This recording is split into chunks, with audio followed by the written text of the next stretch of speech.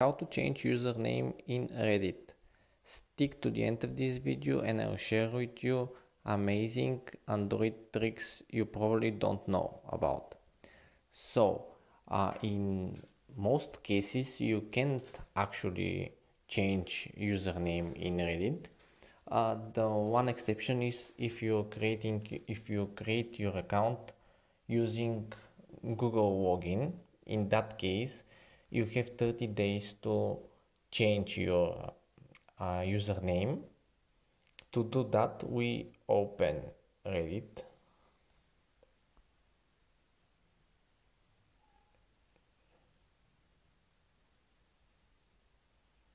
Here we click on our profile picture at the top right and my profile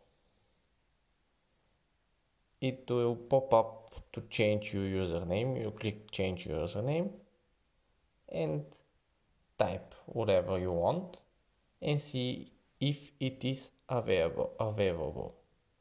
Click the link at the top of this video to see amazing android tricks